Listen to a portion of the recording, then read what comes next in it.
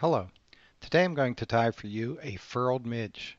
We got a glimpse of this fly when I was doing the surface film midge. It was one of the ways I create the extended body. And I found it in my fly box, um, kind of hiding tucked away in there, and it is a pattern that I caught a few fish on, so I thought I'd share it as well. We're going to do it on a TMC 206 barbless in size 20. And for those who are always asking, uh, you know, what can I get at the craft store? What can I use for this? I found a couple of uses for the metallic threads that you find in Michaels and Joann's and such, and um, I use it for this fly as well, and, and sometimes in different colors. We're going to use a little bit of super fine dubbing and some gray floating uh, polypropylene yarn for the wing.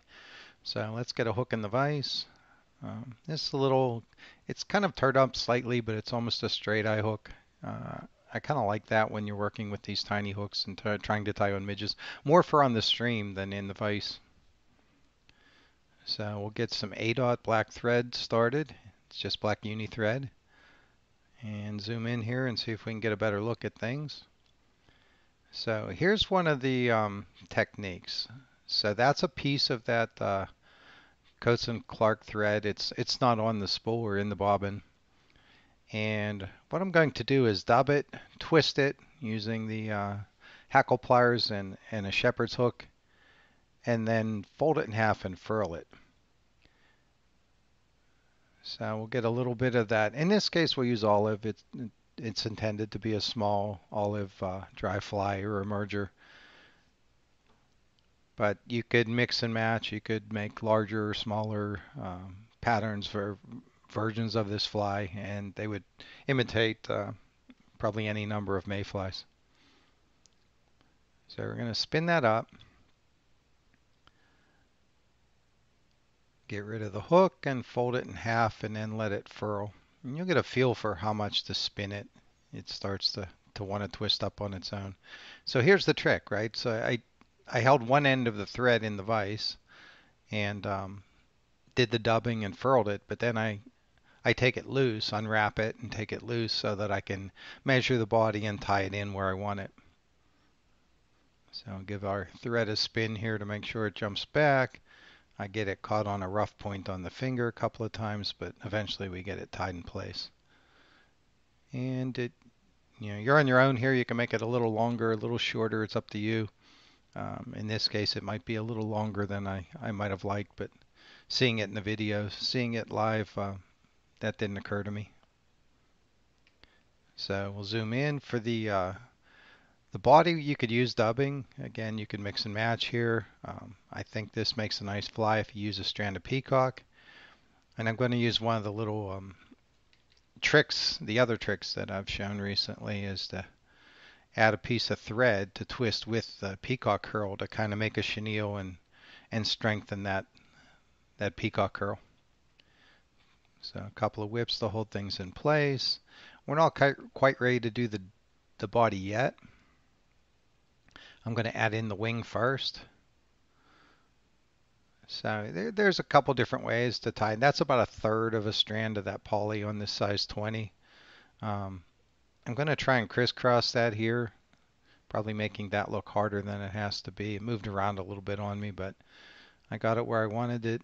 Um, folded it up, pulled it tight, and we're going to post it anyways. Um, probably make a spinner out of this fly just by crisscrossing another time or two.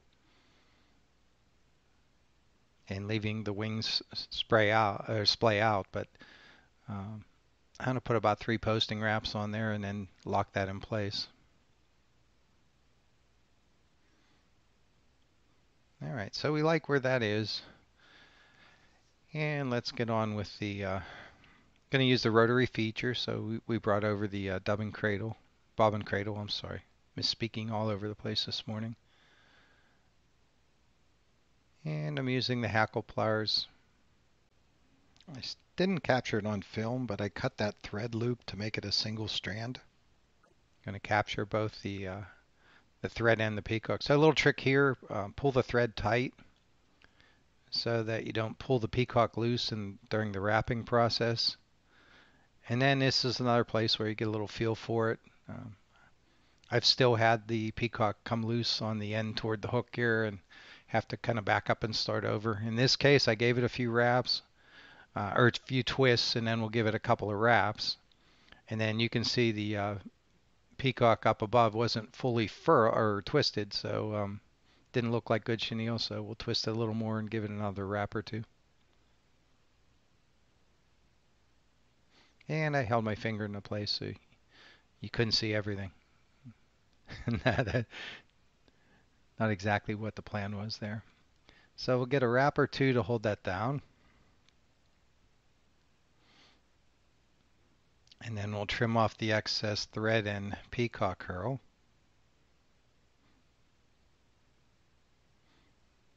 That was about three cups of coffee in, so um, please excuse the shakiness this morning. And then we have plenty of room to wrap back over and make sure that herl and the thread are locked in place.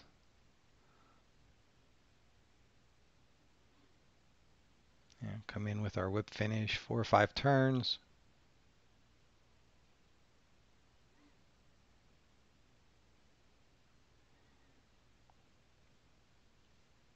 Kind of snip off the thread there and uh, these wings they kind of at some point I don't know I imagine them being held up like the like a sail on a boat at this point and I want to give this a little angle a little puffiness so I can see it as well. And then a uh, little dab of head cement to kind of keep things in place and that's the fly. Now if you want to do a bunch of those bodies you could do them probably on a needle ahead of time and uh, mass produce these so thanks for hanging in there and watching, and uh, hope this helps you out. I hope you catch a lot of fish with it. And until next time, if you want to learn more about me, uh, look me up on Amazon. Until next time, be safe.